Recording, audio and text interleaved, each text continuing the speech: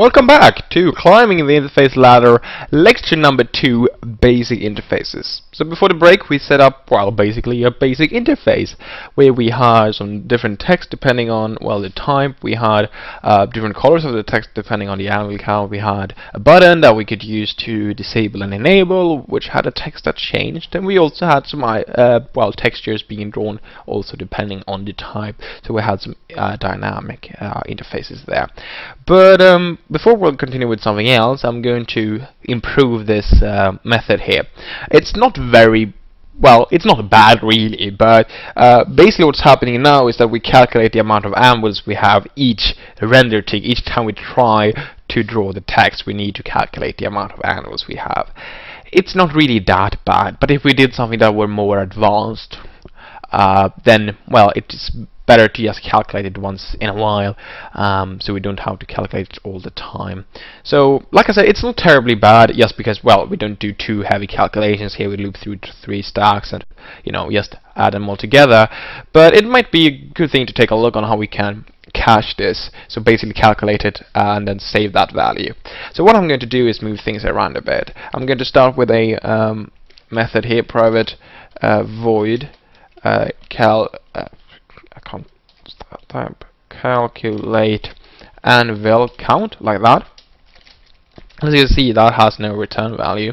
All I'm going to do is uh, copy this code in here like so and um, have a um, a private int integer here private int anvils and set that to minus one. You'll see in a bit of why and instead of working with the count here, I'm just going to work, work with the anvils. Uh, but before I start, I obviously need to reset it. So when I recalculate something, it might be good to start at zero.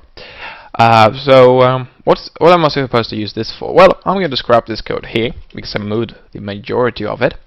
And the way I'm going to do the uh, go is set if anvils equals minus one. That's an invalid number. You can't really have negative um, negative a negative amount of anvils, but well, we can it's set to minus 1 here anyway. So if it's equals to minus 1, then we want to recalculate the amount of anvils we have. And in the end, we want to return the amount of anvils we do have. So if we have calculated it before, we'll just return anvils right away. If we haven't, then um, well, if it's equals to minus 1, then we will calculate it and then just return it. So we will always return the amount, but if anvils is an invalid one, then we're going to calculate it first. However, this is obviously not going to work, because if we change the amount of anvils we do have, we have still calculated it in the past, but it's not going to be the correct one. So, how do we fix this? Well, we have a method here on inventory changed. Um, that we've been calling before but never used. And then we can just tell it, well, uh, what's equals minus 1. So as soon as the inventory changes, then we said, alright, our current uh, anvil count might not be the correct one anymore. It might be the same, like we didn't do anything when we changed the inventory, uh, or we didn't change the anvil count somehow. Um, so it might still be correct, but we set it to minus 1 to mark, well, our, you need to recalculate this next time you use it. So this is going to do exact same thing, but it's just going to calculate it each time that we actually uh, have changed something. Because then we set the anvils to minus 1, and the next time we need it, we're going to see, alright, anvils equals minus 1, let's calculate it. So normally we just return the cached value. And um, there you go. Like I said, the, all the way wasn't terribly bad, but if we would have made something more advanced, then it might have been a good way um, uh, to do something like this to cache the value. And this is also a, bit, little bit of an introduction to something else. We'll see uh, that we will stumble upon something similar to that uh, later on. But that's everything for this for the moment. Let's head back to the GUI here.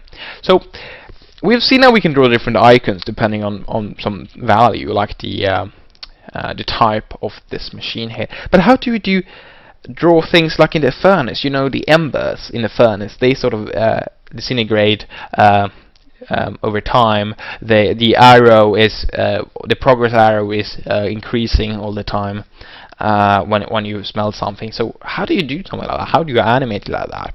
And like I said before, drawing things, making neat textures, is about drawing rectangles in a smart way. So we're we're not going to use any methods or anything, but um, we will actually just draw the things in the old way in a new um, with the old methods but in a new smart way.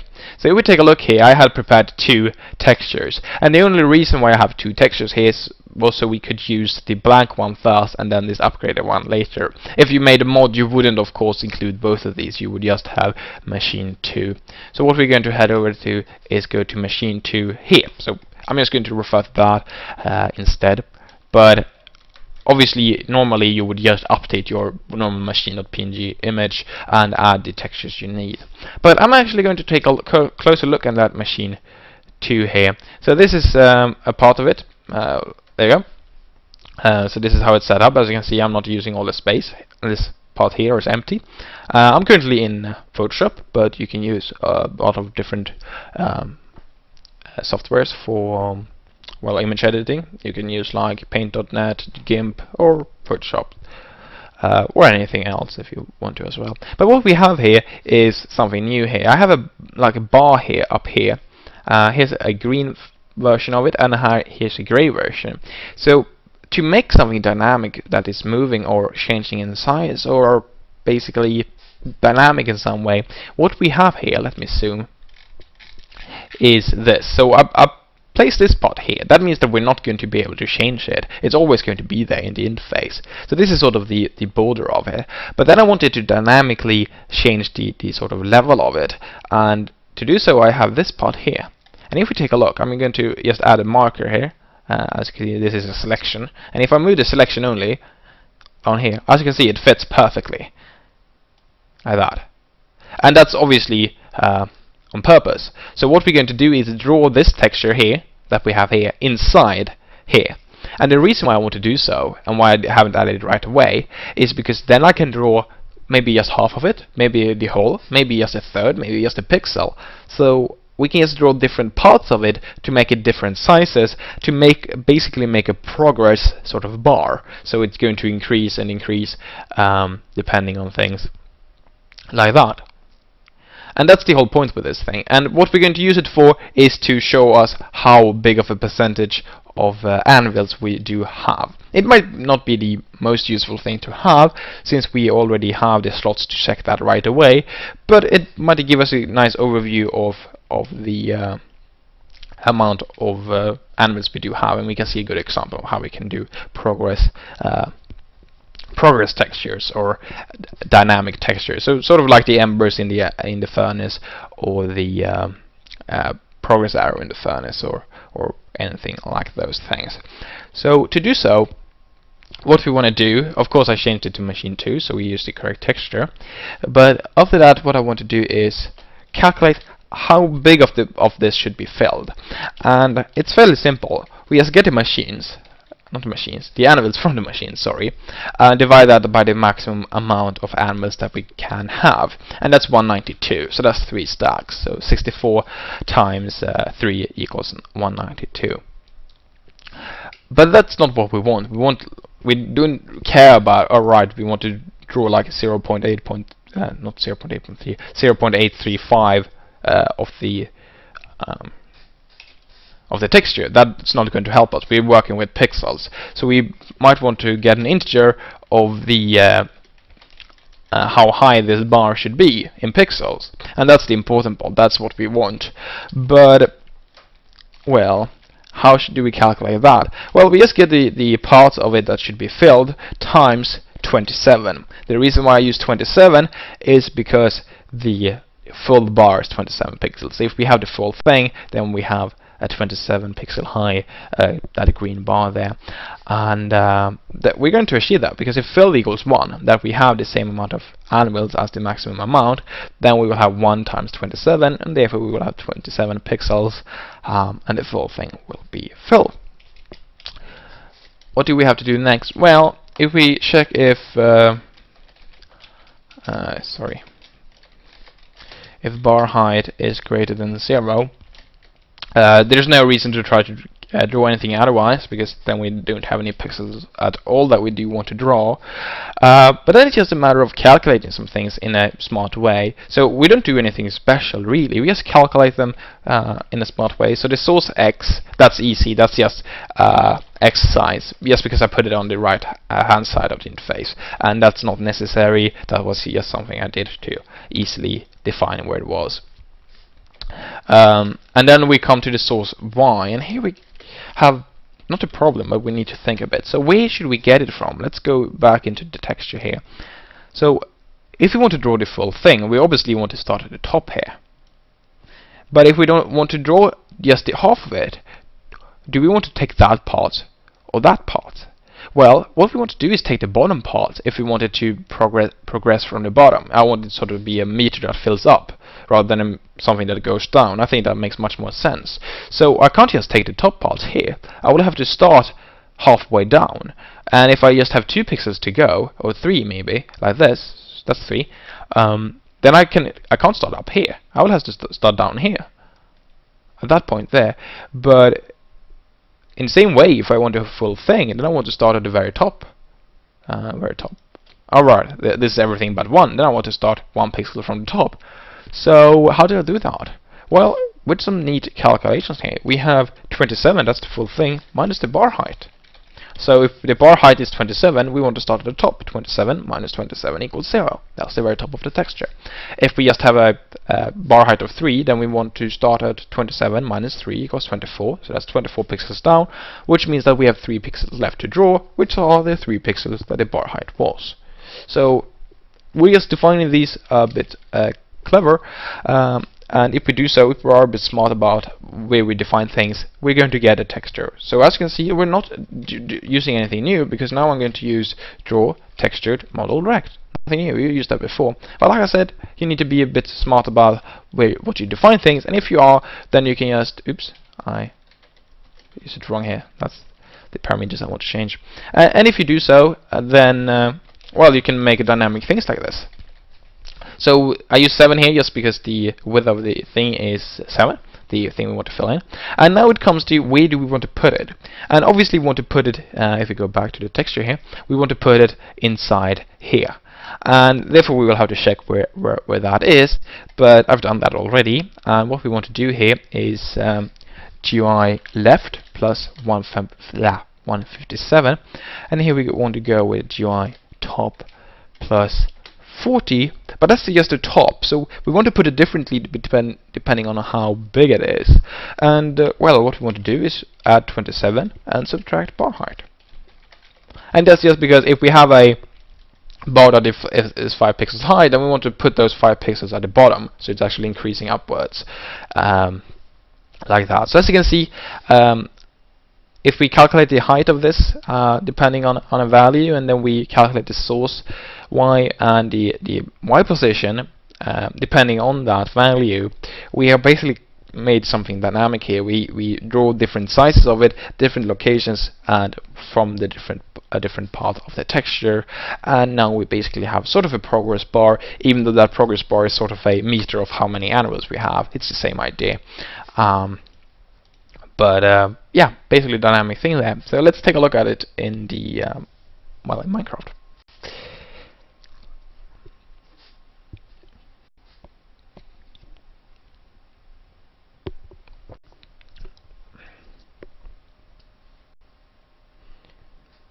Right, and now if you remember, we also fixed that cached version of the anvils, which is pretty good now because we use them in both texture. Um, um, there you go, that's that one. We use them both in the uh, texture part when we want to draw this meter here, and um, it also is used for the color of this text so we uh, ev even though we do it twice in the same tick when we draw it we don't have to calculate it twice. We don't even ha even have to ca calculate it once. We've calculated before and it just cast and as soon as I put something new here it's going to update. Um, so as you can see it updated here and it updated here. Now you can see that green bar there. But if we take even more anvils um, like that and put some more in we will see that it, it increases even further like so. And it's not full yet because we only have 56 here, so it's very easy to see the amount we have here. Whereas here it might be like a bit confusing, like how many do we really have? Alright, 64, 64, alright, there was just 56 there. Atoms there, and it's filling up completely like that. So, um, so yeah, and since we cache the value, we don't have to calculate it multiple times. Uh, we just calculate it once as you can see, it's, it's still updating, and that's because, well, we uh, say that our cached value is, old and not a valid one anymore as soon as any of the slots in the inventory do update like that. Right, pretty sweet in my opinion. Um, we'll take a further look on the buttons though, what can we do more with them, and how easy it is to set up, and to do so I'm going to add another button down here. And what I want to do is the following. Um, uh, if I can find the code. Yep, GUI button. So I want to set up a button here. Uh, clear button. So that's going to be used to clear this machine because at the moment if you place a machine and give it a type there's no way you can clear it. You can only change the type with a card but there's no blank card so you can't set it back to its blank state. So I'm going to have a button here that clears it all together. Oh well, it clears the type basically.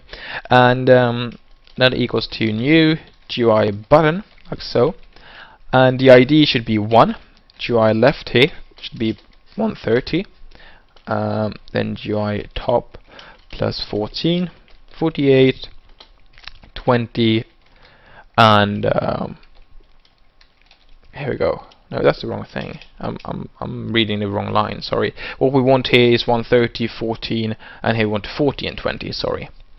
Um, and finally want the text clear. There you go so th these are obviously just the uh, size and the location of it, and to make that look good, we obviously have to uh, poke around with it, change it a bit, tweak it, uh, you know.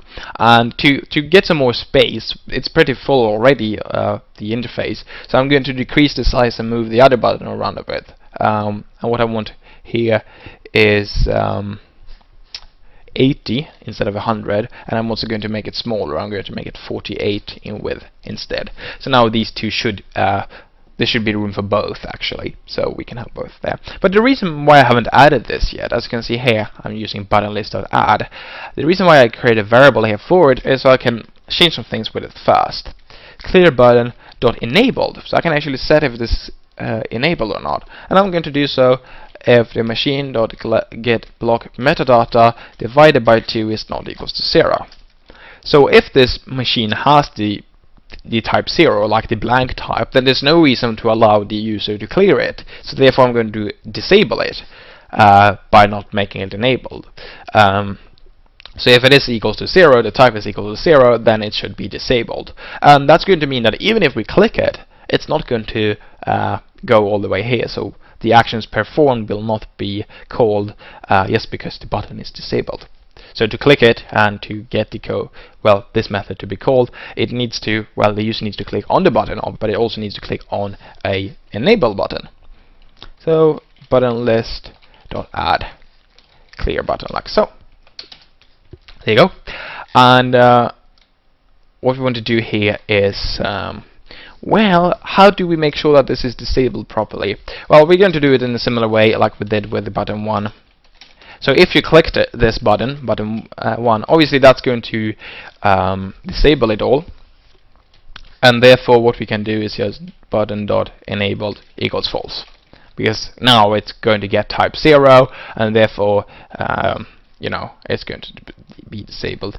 But as we will have the same problem that we had here. It's just going to change for our our interface. If someone else had an interface opened, that that person's button will still be uh, enabled and that person can click it. Nothing will happen really, but it can still click it and uh, it will never be enabled again if the type changes by someone else. We will have to reopen our interface. So we still have a bit of uh, well, a few problems here where it won't work perfectly, but like I said, we will take a look in the next lecture about how we can solve these things.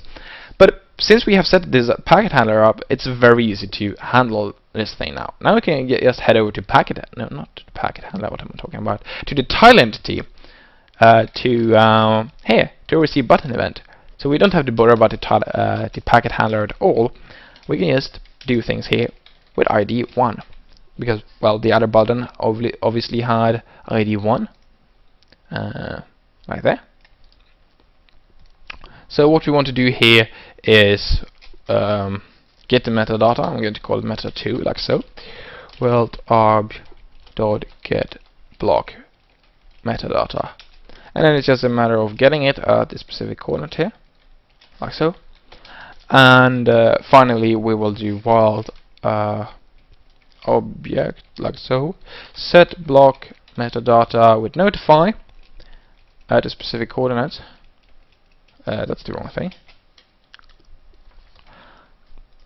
And we want 3 to tell it how to update this. But what we want to do here is simply do metadata to mod 2. And what that's going to do is it's just going to remove the type. Because mod 2, that's the... Uh, uh, if it's disabled or not, and if it's disabled or not, it's well, um, uh, is what we want still. Uh, the type is going to be a zero because we don't add anything to to this part here.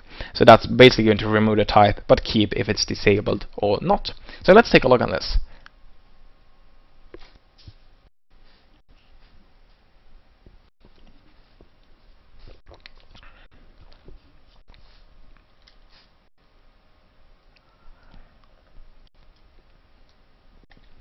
Here we go. And um, we'll still have some problems with the layout, so it's not going to be perfect.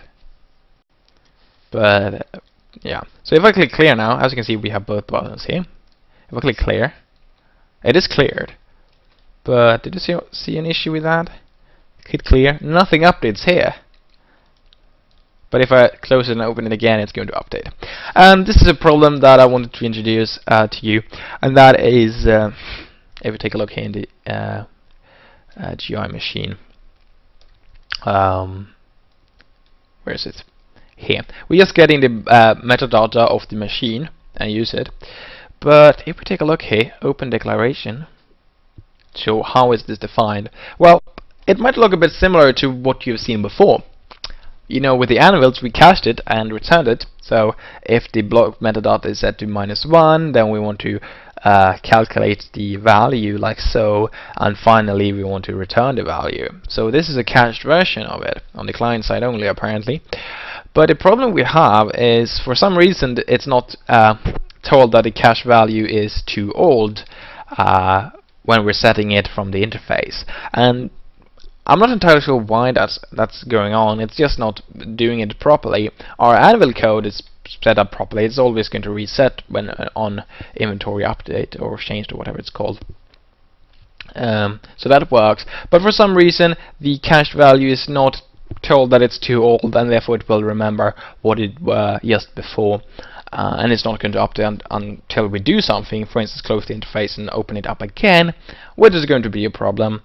Um, so our best solution is actually to ignore this uh, cached value and actually get the proper value. But we can still use the cached value in some instances. For instance here, when we um, create the buttons at the start, because that's only going to happen in the beginning, and therefore this value will be a proper one. So what we want to do is just replace this with with getting the actual metadata. So world object dot get block uh, metadata. That's that one.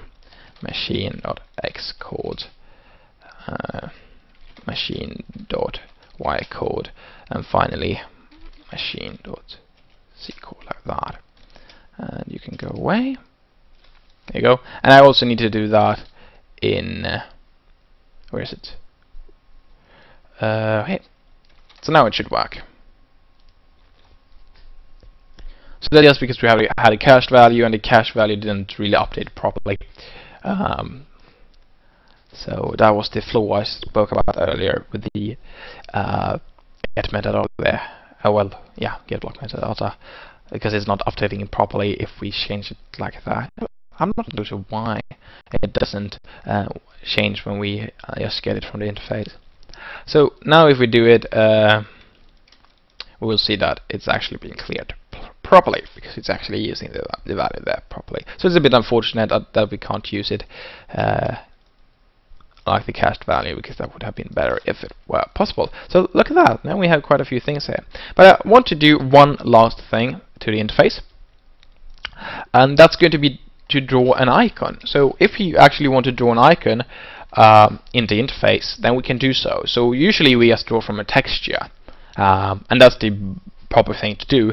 But in some rare cases, or well, not super rare, but in some cases we might want to draw an icon. And the reason might be that we want to draw like an item in the texture somewhere, like an icon of that. Maybe we want to draw an icon of a uh, of a block, depending on something. So basically, draw an icon that we're using somewhere else already. If we just want a texture, then we obviously put that in our texture sheet. But a specific icon that we use somewhere else, maybe we want to draw that in the, in the interface. So what we need to do is to bind that, that texture the texture that one is using. And uh, well, to do so, uh, we need to do something similar to this. So we need to bind a new texture. And just because we're doing that, it might be a good idea to do it in the end, so we don't have to rebind this texture all the time. Remember, if you bind a texture, that's going to be our current texture until you bind another one. So if we swap back and forth between these things, we have to bind it all the time. So it's easier to just add the code at the end here. So Minecraft.get Minecraft dot uh, func uh, that's the K one there dot func uh, which is it? 110577 that one. And then we need the texture here. But what is the texture of a block or a item the basically their icon? Well if we refer to something called a texture map, that's basically the thing, one thing that is included in the part of loading icons.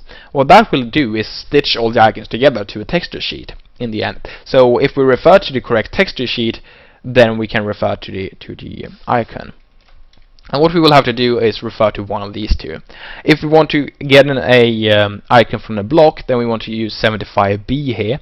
If we want to refer to the other one, we can see this at the very bottom of your, of your screen here, uh, 76C, that's the one for the items. I want to work with the blocks like that, so I'm going to use 75B. There you go. So yeah, this statement is ridiculous. We have func 110434K and we have func 110577A and finally field 110575 underscore B. So yeah, but the only reason why we have so many unnamed things here are because, well, the way with resource locations are new for 1.6, and that's what we'll have to live with. Um, or will we can contribute the names ourselves if we want to. Um, but what we want to do now is instead of using draw textured model direct, we want to use draw texture model direct from icon. And it works quite a lot the same. We have the size here that we want to draw it as, and that's going to be 16 by 16. I want it in the default size. And then we have the uh, like well location we want to put it at. And I want to put it at um, 63 uh, 17. You'll see where it's going to be put. And here I want to draw uh, well basically get the icon itself. And to do so I want the metadata of this uh, block which is calculated here so I guess it wouldn't make sense to just do like that. So instead of using it right away to calculate the type, what I'm doing is just getting the metadata and then using that. So I take meta divided by 2. Because then I can use that value here without having to calculate it once again. And what I want to do is just blocks dot machine. So that's the machine block itself. I don't have to do it, uh, get get the icon from that. It's just because I thought that would fit. And what I want to do is get icon. You know, um, uh, the method where we give it the side we want it from and the metadata we want it from. And I want a top side. And I think it makes sense to get it from the current metadata, which is of course not necessary at all. We just give it to uh, integers there and it's going to return a value for us. So what I'm getting here is actually the top side well, basically the current top side, I'm, I'm going to draw it in the interface. We will see exactly why when I start it. So let's take a look.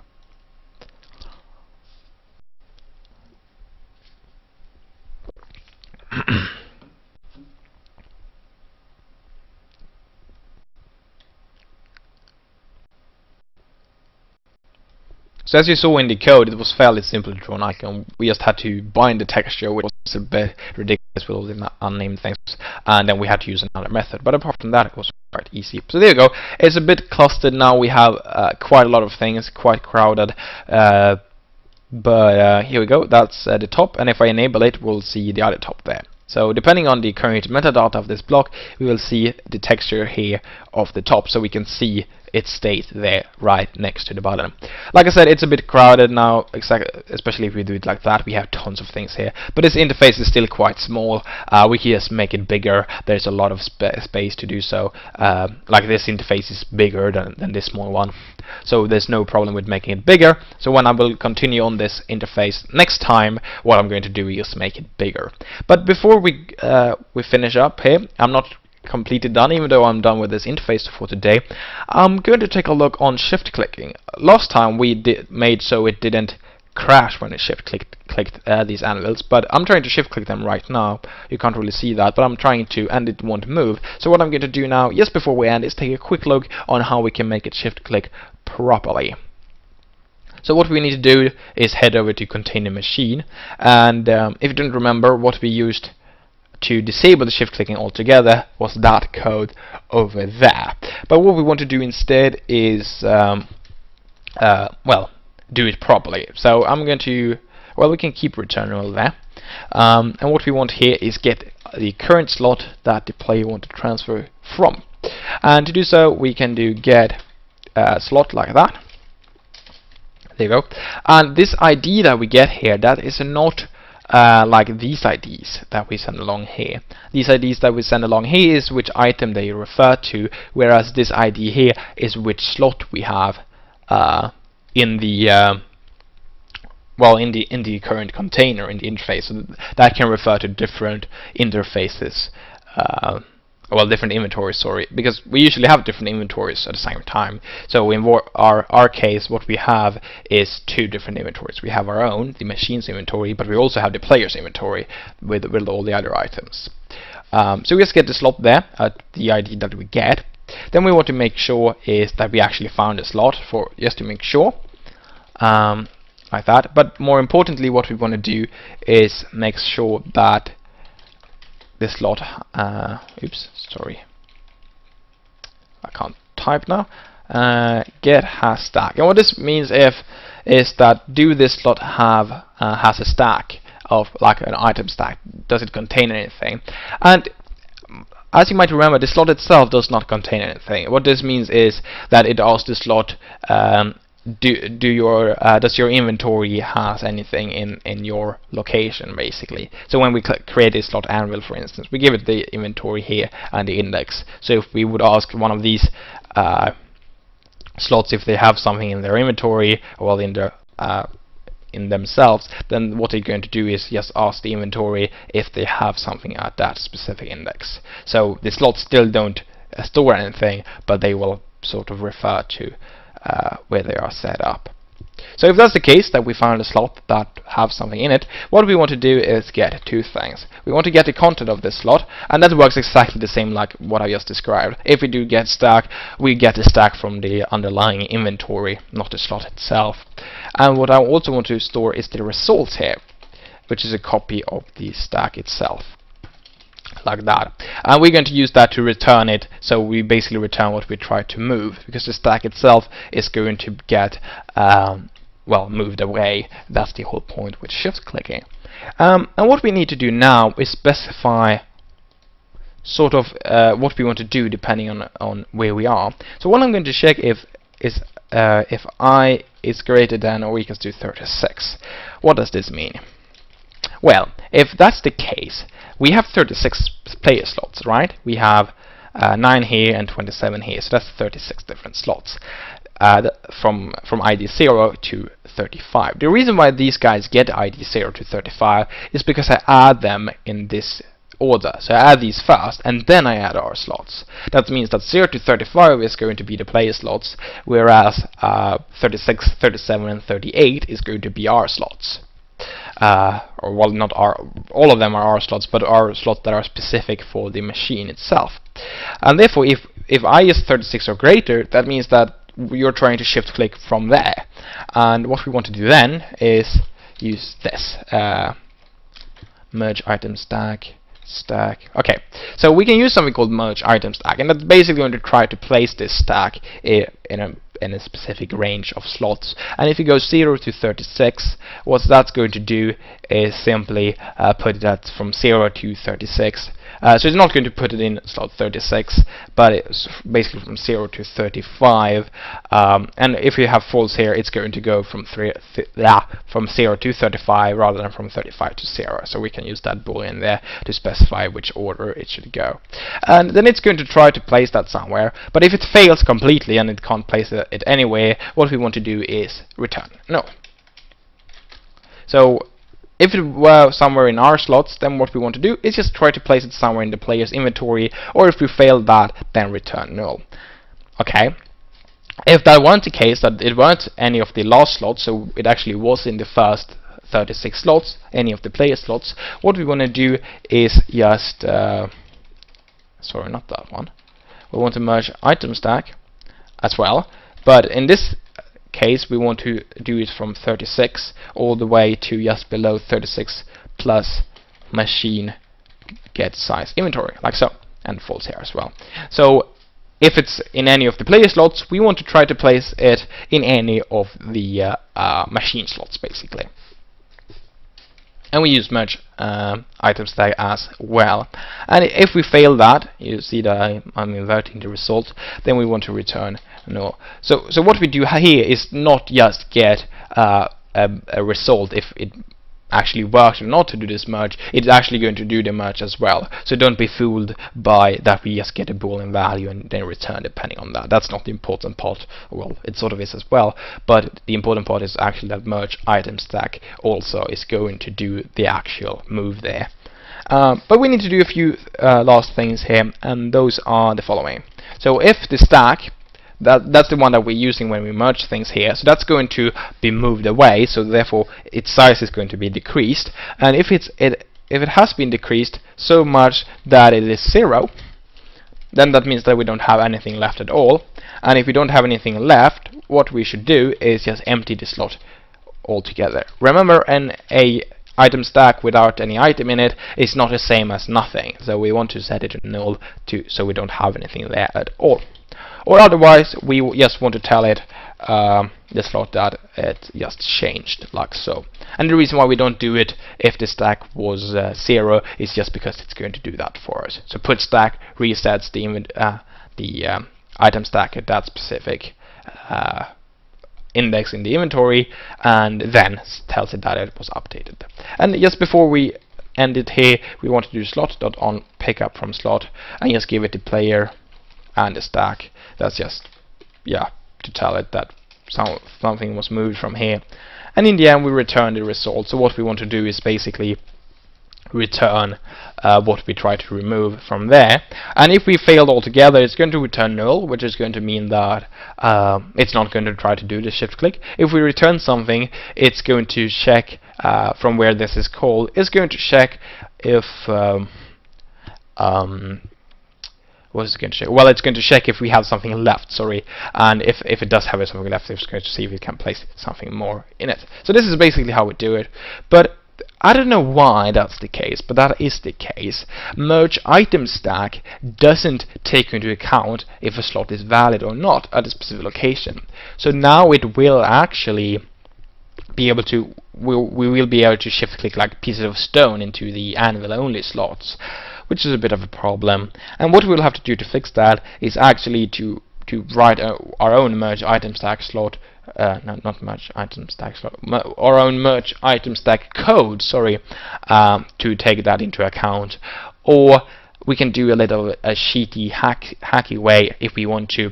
And the only reason we can do this other way is just because we know that all of the all of our slots works the same way if we have slots that work differently, like, alright, this slot accepts these things, this slot accepts these things, it might be a bit more troublesome, but that depends a bit on on how we want it to work. But like I said, we can do it quite easily just because we know how, that these anvil slots work like they do.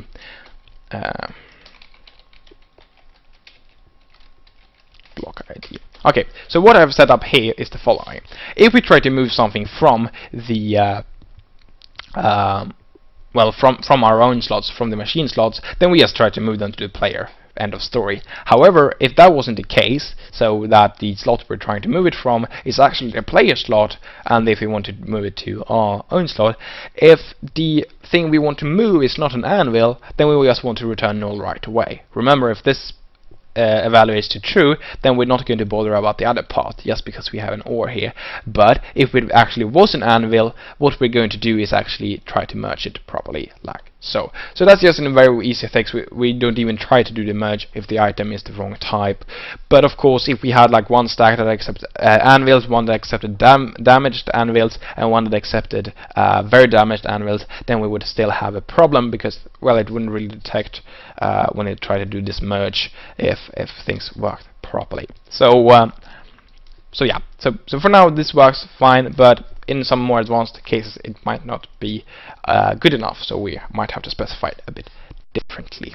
And one option is to create your, your own merge item stack, uh, which is probably the best in the long run, but otherwise you can just tr trick it uh, around with it here with a few different cases depending on the slots and so on.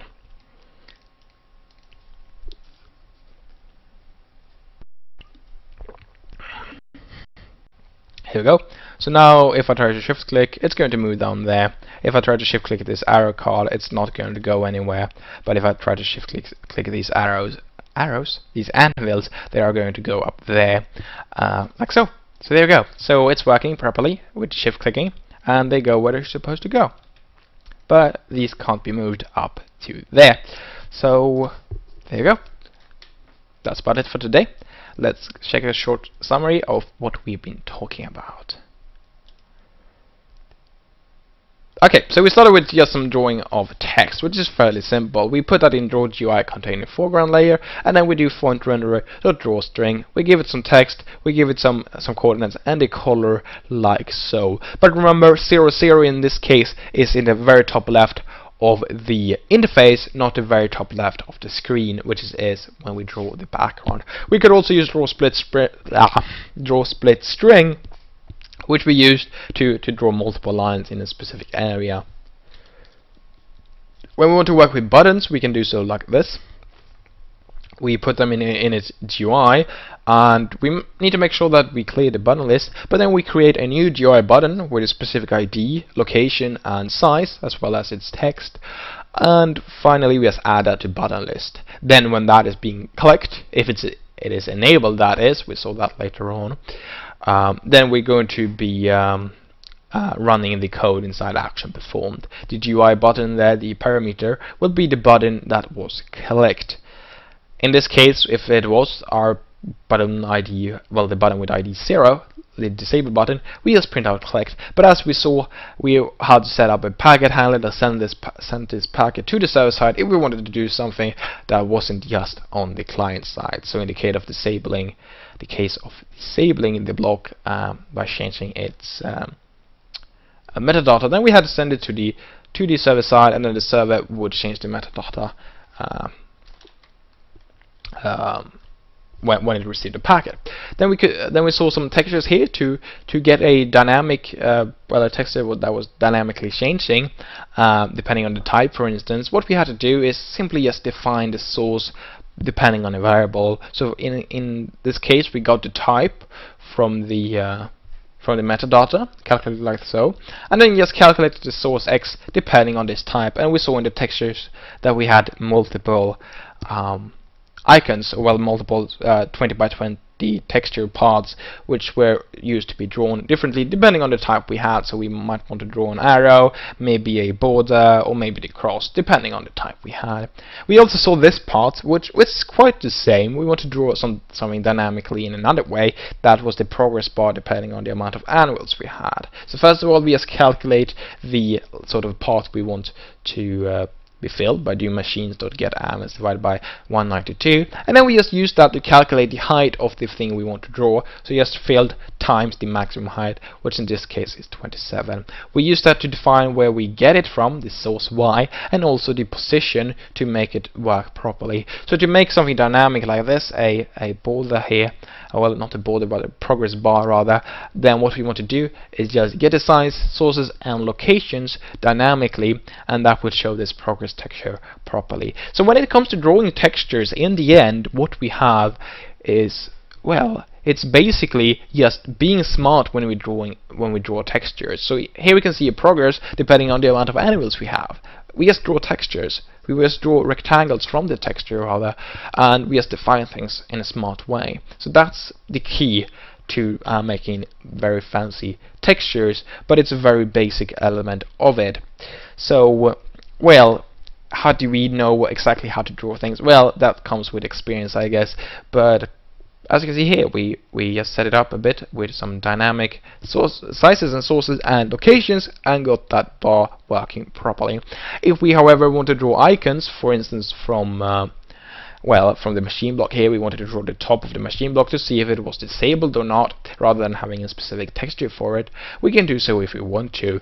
Normally, if we want to draw things, we just add the texture for it, but if we want to draw the icon from a specific uh, item that we already have or something like that. We have to bind its texture and well what we used was texture map dot ma uh, no dot field underscore uh, 110575 underscore b. That one is for the blocks. If it's a block icon if it's an item icon we want to use field underscore 110576c instead. And then it's just a matter of using draw textured model rect from icon instead. And then we give it the location the icon itself and the size we want to draw it as and that's pretty much it for today. We have the question exercise document, of course, that you can do now afterwards. Uh, the questions to see if you have learned anything, and the exercises to practice it a bit more. Further explorations if we want to continue it even further. And then we have answers and um, possible solutions to the questions and exercises, so you can check if those are, have been solved correctly. But these are, of course, optional, but are highly recommended uh, for some extra practice. So that's about it. This has been Climbing in the Interface Ladder, lecture number two, Basic Interfaces. I've been VSWE and I hope you enjoyed it. I hope to see you next time. We will talk a bit more about interfaces in the lecture Customized Interfaces. Goodbye.